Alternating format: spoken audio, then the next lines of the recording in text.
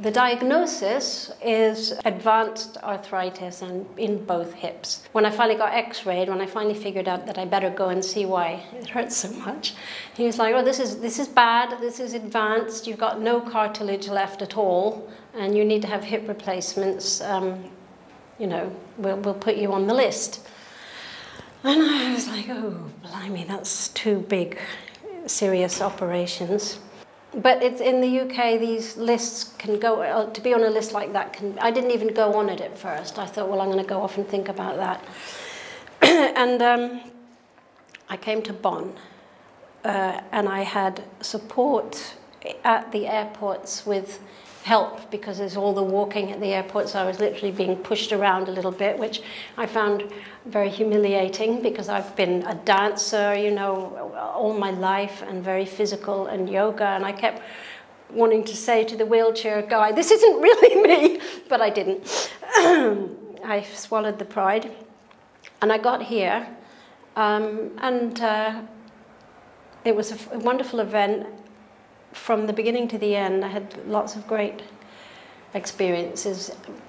But, um, but I was hobbling around a little bit. It's like I just didn't, and I didn't come for healing. I came to go deeper into the meditations. On the second time of being a healer, the second coherence healing, um, I sudden I asked, how can I open to more love, even more love, and I got hit by, I can only describe it as a bolt of luminous blue light that came in through the top of my head, filled my whole body, arms, belly, feet, heart exploding. I was shaking all over, you know, just tears were streaming out of my eyes. I was very aware we were meant to be healing someone, so I tried not to wail and scream. So it was silent and I was shaking and trembling. It was extraordinary. It was, of all the experiences of my life, the most powerful. And, and there have been many, because I'm a grandmother now.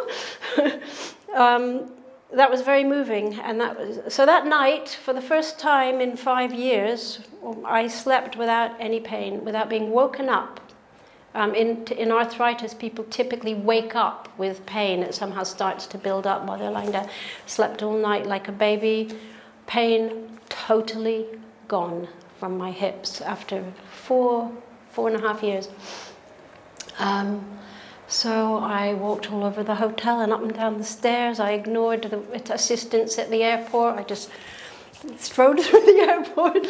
Um, there was a plane ride, a bus ride, a long train back down to Wales, and I was just like, piece of cake all the way. so that lasted about three or four weeks, and then I got offered, somebody offered me a very reduced rate to have stem cell therapy into the hips, because it's actually usually very expensive.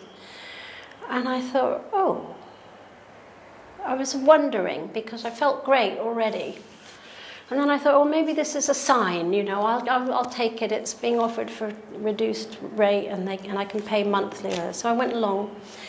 And very strangely, from that procedure, the pain came back, intensely came back. Um, perhaps not as bad as when it was at its worst, but it came back.